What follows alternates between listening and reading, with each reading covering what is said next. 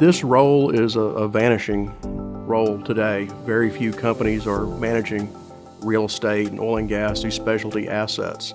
Uh, that's what makes us unique in this field. It's everything from uh, securing the property itself, all types of lease agreements. They could be agreements for water rights, for hunting, grazing, for farming. Wind energy leases, uh, working on some solar uh, options right now, agriculture leases, cell towers.